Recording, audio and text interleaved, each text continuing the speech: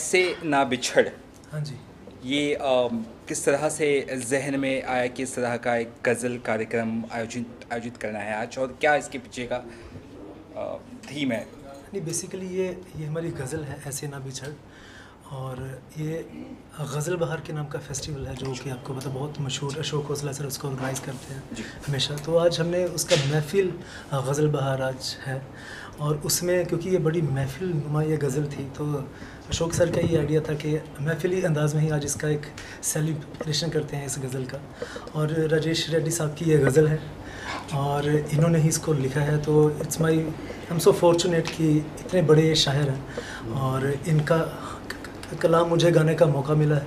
और हमारे भाई हैं राम अवतार दयामा जी, उनकी ये कंपोजिशन है तो बहुत इंटरेस्टिंग ये मुझे कंपोजिशन लगी थी और शायरी तो बहुत ही अच्छी मुझे लगी थी।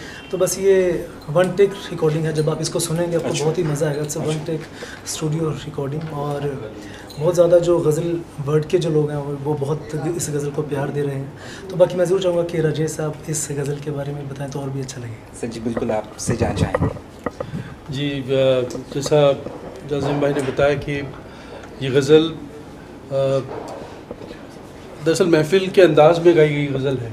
हाँ और बहुत दिनों बाद इस अंदाज में अ, मैंने कोई गज़ल सुनी है अपने हिंदुस्तानी गायकों से ख़ास तौर से। उन्हें एक सेट कंपोजिशन होता है और सेट गायकी होती है लेकिन उन्होंने बहुत खुल के और आज ये महफिल भी सजाई है अशोक भाई ने अशोक घोसला साहब ने जो गज़ल बहार के सर्वे सरवा है उनका कंसेप्ट है और वो नई नई टैलेंट्स को भी बहुत इनक्रेज करते हैं सामने लाते हैं। और आज ये उसी सिलसिले में है कि जाजिम भाई ने जिस गज़ल को यूँ मैं कहूँ कि इसको चार चाँद लगा दिए, इन्होंने गा के। और रामादर दाम, दामा जी ने बहुत अच्छा कंपोजिशन किया। तो गज़ल के साथ पूरा जस्टिफिकेशन कंपोज़र ने भी किया और सिंगर ने भी किया। और इन लोगों को ये गज़ल पसंद आई और जो जो लोग सुन रहे हैं, उनको ये अच्छी लग रही है ये मेरी खुशकस्मती है। तो जजीम सर के साथ आपका ये जो कोलेब्रेशन है, ये किस तरह से आगे बढ़ने वाला है और किस तरह से आज महफिल सजने वाली है? ये इस महफिल के बारे में तो अशोक भाई ज़्यादा अच्छी तरह बता पाएँगे कि अच्छा। वो महफिल में क्या क्या होने जा रहा है। लेकिन जाजिम भाई की ये मेरी इनके साथ पहली कोलोब्रेशन है। इन्होंने पहली गज़ल गाई है। और जो शुरुआत हुई है मुझे लगता है कि ये बहुत दूर तक जाएगी देर तक जाएगी। अच्छा। मेरी दुआएँ। कुछ कहना चाहेंगे गज़ल के बारे में जैसे आज आप परफॉर्म करने वाले हैं क्या कुछ अ, सीख रहे हैं या क्या कुछ बेहतरीन है गज़- गज़ल में?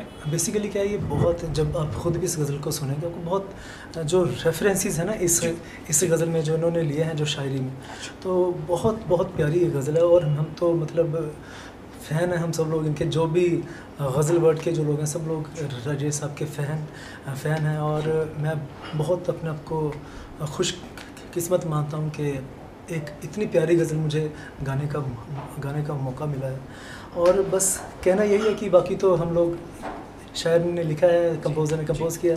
मैंने गाया भी बाकी तो बाकी तो अब सारा दारोमदार है वो जनता के ऊपर वो इसको सुने और ज़्यादा से ज़्यादा प्यार करें क्योंकि कहना हम हम हमेशा ये चीज़ कहते हैं कि गज़ल नहीं आ रही या कुछ वैसा म्यूज़िक नहीं आ रहा या गज़ली से डाइंग आर्ट फॉर्म ऐसा सुनने को को हमेशा मिलता है। लेकिन जब कुछ कोशिश होती है तो बस यही आप लोगों से हो आस है कि आप लोग इसको ज़्यादा से ज़्यादा प्यार दें तो ये चीज़ चलती रहे। सर आपसे जानना चाहेंगे आप ऑर्गेनाइज कर रहे हो और जजीम जी है और सर भी है? जी सर क्या कहना चाहेंगे किस तरह की महफिल आज होने वाली है और क्या कुछ आपका? ये देखिए गज़ल बहार एक फेस्टिवल हम लोग करते हैं हमेशा। तो उस ताल्लुक़ से ये आज की महफिल फिर से सजाई जा रही है। और ख़ास तौर पर इसलिए ये सोचा गया कि जैज़म ने गज़ल गाई, वो भी राजेश रेड्डी साहब की इतनी खूबसूरत गज़ल। मैं ख़ुद राजेश रेड्डी साहब का बहुत बड़ा फ़ैन हूँ। इनके, जिन्होंने भी इनकी गज़लें गाई हैं, वो इतनी कमाल की गज़लें हैं कि इनका शुमार बहुत बड़े शायरों में होता है। और मैं और मेरा ख्याल है जितने गज़ल गायक हैं, वो सारे इनके फ़ैन हैं। तो आज इसी खुशी में हम सबने कहा कि हम सब जो गज़ल सिंगर्स हैं, जितने भी आज आ सकते हैं, हालाँकि आज ज़रा मुश्किल दिन है, गज़ल, गणपति जी का आज पहला दिन है तो सारे लोग कहीं वहाँ बिज़ी भी हैं इससे थोड़ा आप देख रहे हैं, थोड़ा देर से स्टार्ट हुआ है सारा सिलसिला। और ये आगे आज की शाम जो है, गज़लें ही गाई जाएँगी, और हमारे जितने फ़नकार हैं गज़ल के, बहुत सारे आने वाले हैं, और इन बहुत खूबसूरत महफिल सजेगी। और इसको पहली बार गज़ल बहार चैनल पर लाइव जा रहे हैं। हाँ। तो पहली बार ऐसा हो रहा है कि हम इसको प्रमोट जितना पहले करना चाहिए था हमसे नहीं हो, हो पाया। क्योंकि बीच में कोरोना का भी दो साल बीच में निकल गए हम कुछ कर नहीं पाए। खैर अब हो रहा है और उम्मीद है कि ये चैनल बहुत आगे बढ़ जाएगा मशहूर होगा और गज़ल गायकों के लिए एक बहुत अच्छा प्लेटफॉर्म बनेगा। और आज तो हमारे लिए बहुत ही खुशकिस्मती का दिन है कि राजेश साहब हैं साथ में। तो मैं उनसे गुजारिश करूँगा कि आज का जो शुरुआत का जो एक, जो शुरुआत जैसे होगी तो उसके कुछ दो चार शब्दों के साथ इस प्रोग्राम का आगाज़ किया जाए। अगर वो करें तो हमारे लिए बहुत ही एक, इज़्ज़त की बात होगी। और हम इसी तरह से एक आगे हर शायर के साथ जुड़े अच्छे शायरों को बुलाएँ, उनकी नशिस्त भी हो यहाँ पर महफिल भी हो और शायरा शायराना एक महफिल भी हो।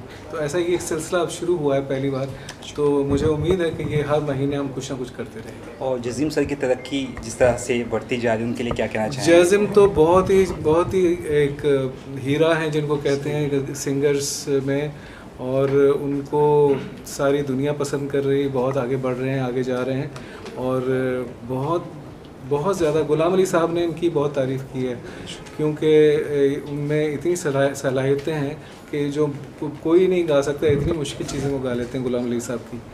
और इतनी आसानी से गाते हैं कि क्या कहें। तो बहुत बहुत टैलेंटेड आर्ट, आर्टिस्ट हैं बहुत टैलेंट आर्टिस्ट हैं। सभी सिंगर्स इनको बहुत प्यार करते हैं क्यों? इनकी फ़न की वजह से। ये इंसान भी बहुत अच्छे हैं और मेरी बहुत बहुत दुआएँ हैं कि बहुत आगे जाएँ। और मेरा ख्याल है आज राजेश जी को भी बड़ा अच्छा लगा जिस तरह से इन्होंने उनकी गज़ल को निभाया है। और रामा अवतार जी ने भी जैसे खूबसूरत कंपोजिशन ट्रेडिशनल कंपोजिशन बनाई है। तो एक बहुत खूबसूरत गज़ल बन पाई है। तो all thanks to the greats like Rajesh ji and Ram Avtar ji. इसको बहुत बहुत मुबारकबाद हमारी तरफ़ से शुभकामनाएँ। और बाकी गज़ल बहार के लिए मैं एक बार ज़रूर कहना चाहूँगा कि आई एम सो लकी कि जो गज़ल बहार का फ़र्स्ट सीज़न था तब से मेरा मतलब मैं इस, इस अभियान के साथ जुड़ा हुआ हूँ सर के साथ क्योंकि जितना ये काम, जैसे हम सबको पता है कि जो गज़ल बहार का जो मेन एम है, जो उनके सर के जो ओल्ड एज होम है, सब सब आर्टिस्ट उसको सपोर्ट करते हैं। तो आई थिंक ये ऐसा इज़ इंस्पिरेशन फॉर एवरीवन की जो अपने लिए तो हम सब लोग जीते ही हैं, जो दूसरों के लिए अपनी ज़िंदगी जीते हैं। तो शोक sir is one of them तो उनकी बहुत ज़्यादा रिस्पेक्ट है सर की, हमारे, हम सब आर्टिस्टों के दिल में। और बस आज की फिर शाम स्टार्ट करते हैं। तो ऑफ़ कोर्स कुछ कहना तो नहीं चाहिए लेकिन फिर भी कुछ सुनना तो चाहेंगे कुछ तो चाहेंगे कि दर्शकों के लिए आप लोग या गुनगुना या कुछ तो है। चाहिए। गज़ल का मुखड़ा ज़रूर जी, जी, मैं कहूँगा कि सुना दें। हाँ जी मैं ज़रूर मैं पहले चाहूँगा कि सर अगर अपने जी, लाजमी जी, इसको जी, जी, करें तो और भी अच्छा लगेगा। कुछ इसलिए ये गज़ल गाने में ही ज़्यादा अच्छी लगेगी और अब गाए प्लीज़ इसको। हाँ जी। ऐसे ना बिछड़ आँखों से अशकों की तरह तू ऐसे ना बिछड़ आँखों से। अशकों की तरह तू आ के आ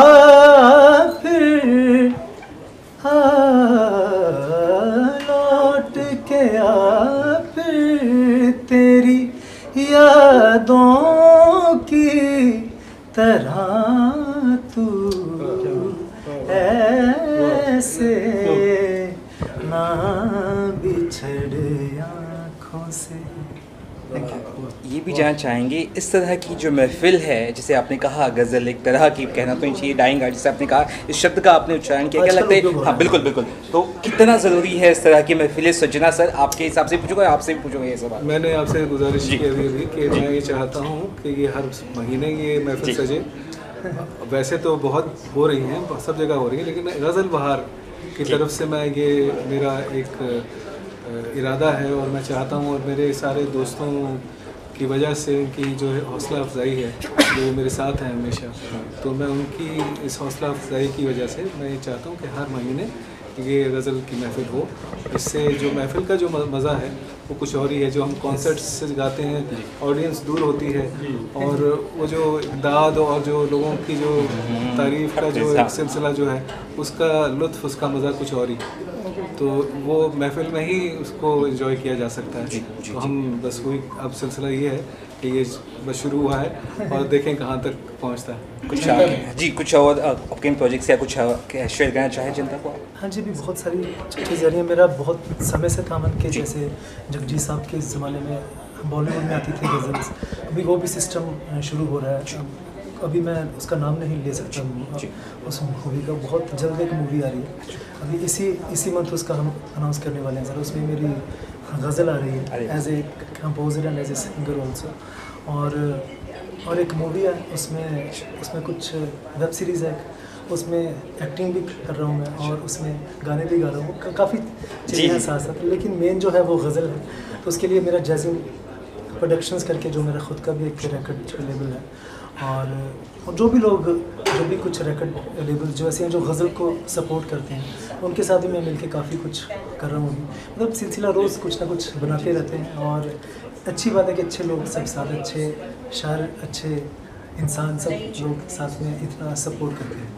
बहुत बहुत शुक्रिया सर आप लोग के बारे में कहना चाहूँगा कि इसे दोस्ती और जुड़ाव तो जब गज़ल के गोल्डन डेज़ थे ईयर थे तब से है। आ, लेकिन गज़ल बहार से जुड़ाव ये मेरा नया है ताज़ा है। और जिस कंसेप्ट के साथ इन्होंने गज़ल बहार शुरू की जैसे जाजिम ने बताया कि ओल्ड एज होम और गज़ल को उससे जोड़ना उस गज़ल के बाहर का सिलसिला उसमें नई टैलेंट को भी शामिल करना गज़ल का माहौल बनाना और एक अच्छे नेक काम के लिए वो सब प्लान करना और इस तरह से महफिलें सजाने की जो प्लानिंग इन्होंने की है। तो ये गज़ल के लिए और नए आर्टिस्ट के लिए और माहौल के लिए बहुत अच्छा है। मैं इनको शुक्रिया अदा करता हूँ और दुआएँ देता हूँ। बहुत बहुत शुक्रिया। बाहर में आप आए हैं और जैसिम जी को किस तरह से आपका एक रहेगा सपोर्ट? सबको नमस्कार और आज हम यहाँ बात कर रहे हैं ऐसे न बिछड़ आँखों से अशकों की तरह तो। ये बहुत खूबसूरत गज़ल एक और गज़ल जो है वो जैज़म के जो है वो आ, उनकी तैयार की हुई जो हम लोग सुन रहे हैं नई गज़ल। इस इसे लिखा है राजेश रेड्डी जी ने जो मेरे साथ खड़े हैं और राम अवतार जी इसके कंपोज़र हैं जो आज आए नहीं हैं हैदराबाद में रहते हैं और आज शायद उनकी तबीयत कुछ नासाज है। और अ, हमारे बड़े भाई अशोक जी जिनको ये पूरा मैं कहती हूँ कि ये जितना भी आप देख रहे हैं जो हो रहा है ये इनके सौजन्य से हो रहा है। और गज़ल बहार तो शुरू इसकी बहार यही लाए थे और यही लाते रहेंगे। हम लोग तो सब छोटे छोटे यू नो फूल पत्तियाँ हैं जो जुड़ती जा रही हैं इस बहार में। तो ये बच्चा मेरा जैज़िम मैं अभी तक जसप्रीत ही बोलती हूँ लेकिन लोग आप सब इन्हें जैज़िम शर्मा के नाम से जानते हैं। बहुत ही खूबसूरत, उम्दा गायकी। आज के दौर में जितने भी लोग गा रहे हैं, बहुत अच्छे अच्छे लोग गा रहे हैं। लेकिन इस इस बच्चे का जो है, वो जवाब नहीं है। मैं बच्चा इसलिए कहती हूँ क्योंकि मेरे लिए ये बच्चा ही है। लेकिन ये मतलब बहुत ही कमाल बाकमाल जो भी गाता है और रूह से। और आने वाले समय का मैं हमेशा कहती हूँ कि जब समय आएगा तो ऐसा समय आएगा कि बस फिर जैज़िम ही होगा। बहुत कमाल गायकी ईश्वर ने ऐसी माँ सरस्वती ने ऐसी गायकी इसे बख्शी है। मालिक से मैं यही दुआ करती हूँ कि हमेशा ये इसी तरह ही गाता रहे और चमकता रहे। तो मेरा बहुत बहुत आशीर्वाद है, शुभकामनाएँ हैं कि ये एक के बाद एक इसी तरह गज़लें देता रहे और इस गज़ल गायकी को ज़िंदा रखे। क्योंकि ये बहुत ज़रूरी है, जितनी भी गायकी हमारे हमारे क्षेत्र में, हमारे जितनी भी हमने हिंदुस्तानी क्लासिकल में जिसकी हम बात करें तो बहुत सारी ऐसी कैटेगरीज़ हैं जो लुप्त होती जा रही हैं, ख़त्म होती जा रही हैं। उसे ज़िंदा रखना बहुत ज़रूरी है। तो उसके लिए आगे आने वाली जनरेशन ऐसी चाहिए जो उसे अच्छे से निभा सके, उसे सीखे और निभाए। तो ये गज़ल गायकी के लिए तो मैं कह सकती हूँ कि गज़ल अभी और सौ साल ज़िंदा रहेगी जैसे जैसे बच्चे हैं हमारे पास। बहुत बहुत शुक्रिया। इतनी तारीफ़ से आपने सुनी। है क्या कहना चाहेंगे मैम के लिए और कितनी बड़ी इंपॉर्टेंट चीज़ है मैम मोटिवेशन की नहीं मैम के लिए तो कुछ भी बोलना मतलब बहुत ही छोटी छोटी बात है क्योंकि मैम इतने बड़े शख्स हैं इतना हमने तो बचपन से ही उनको सुना है इनसे इतना सीखा है। और मैं बहुत ही अपने आप को सौभाग्यशाली मानता हूँ कि इनका मुझे मतलब बहुत ज़्यादा प्यार मिलता है हमेशा ही। और बॉम्बे जब से मैं हूँ तब से एक फैमिली है मेरी ये। और एक जैसे होता है कि एक एक चीज़ में मेरा ख्याल रखते हैं डांटते हैं जब भी कुछ जब भी हम कुछ गलत भी करते हैं तो इट्स लाइक अ फैमिली और मैम के बारे में जैसे इन इनके बारे में तो हम सब पूरी दुनिया इनकी फ़ैन है इनके गाने की इनकी शख्सियत की। और जब इनका हमें इतना प्यार मिलता है इतना आशीर्वाद मिलता है तो बहुत ही अच्छा लगता है। बस यही है कि ऊपर वाला इनको हमेशा स्वस्थ रखे इनको ऐसे ही सुर में रखे और ऐसे ही अच्छा अच्छा गाते रहें और हम सब सिंगर्स को इंस्पायर करते रहें। थैंक यू बेटा। थैंक यू सो मच शुरू की बात छिड़ी है तो कुछ या कहे या कुछ तो अगर आप आज तो जैजिम की शाम है अच्छा, तो आज जैजिम गाएगा और हम तो तो है। हाँ मैं देखूँगी तो ही है। मैं तो हम लोग तो बस वो है ना कि शिरकत कर रहे हैं बाकी तो दूल्हा तो आज का ये है हम तो बाराती हैं। Thank you ji thank you शाम में आप आए हैं किस तरह से आप बेस्ट विशेष देना चाहेंगे जजीम को? क्या कहना चाहेंगे? मेरा तो ये बेटा है तो बेटे के लिए माँ के लिए इससे क्या क्या दुआ निकलती है वो सोच लीजिए वो मैं सब इसको दे दूँगी मैं बहुत बहुत आज खुश हूँ। क्योंकि जैज़म एक ऐसा फनकार है जो लगातार अपनी कला के साथ जुड़ा हुआ है, अपने संगीत के साथ जुड़ा हुआ है और मेरी वाबस्तगी हाल ही में हुई है, मेरे ख्याल से दो चार साल हुए हैं लेकिन हम अब लगातार मिलते रहे हैं और इतना अच्छा काम कर रहे हैं और आपको बहुत बहुत मुबारकबाद। ऐसे न बिछड़। मेरे पसंदीदा शायर हैं राजेश रेड्डी साहब, पसंदीदा कंपोज़र हैं राम अवतार दायमा और मेरे फेवरेट जैजम शर्मा बहुत बहुत मुबारक।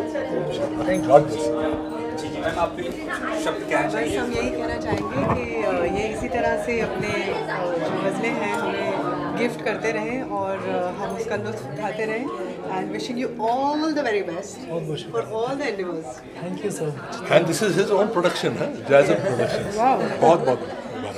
कोई और लॉन्च नहीं कर रहा तो मैं नहीं बहुत अच्छा कि ये महफिल सज है जैजिम जी के लिए क्या कहना चाहेंगे आप और किस तरह से उनको बेस्ट विशेष देंगे आज के जयसिंह जी बहुत अच्छा गा रहे हैं और इतना उन्होंने एक सुंदर एल्बम अभी रिलीज़ किया है ऐसा ना बिछड़। और मैं इनको और इन्होंने सब लोगों का बहुत बहुत स्वागत है। इन्होंने इतना सुंदर राजेश जी ने इतना सुंदर इसको लिखा है और इन्होंने गाया है।